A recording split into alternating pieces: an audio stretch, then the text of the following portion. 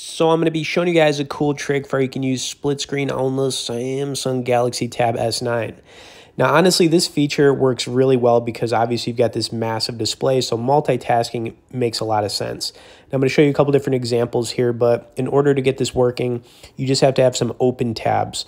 And when you see these open tabs, you've basically got the app icons, and when you tap on them, it's going to give you an option if it works in split screen. So for this example, I'm just going to do a couple of them, but we've got um, the first one here to open in split screen, and then you can select a second app, which is going to allow you to do on the right.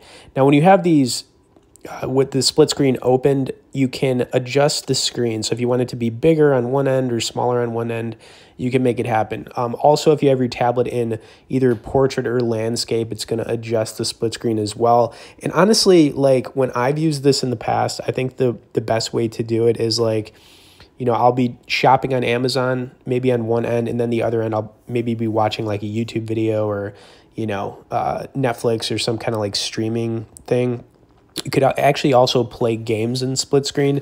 Not all games are going to work. I got to keep that in mind, but you know, this feature is really cool. And obviously, the bigger the screen, the better it's going to work and the more sense it makes to use split screening. And that's how you make it happen. Just keep in mind, not everything is going to work in split screen. It'll tell you if it can or not. So, yep. Okay, anyways, uh, just a little tip for you guys. Uh, hope it helps you out. I'd also like to point out you can get on our Tech newsletter where we send out one email a week on only the good stuff directly below in the description. As always, thanks for watching this, guys, and we'll see y'all in the next video.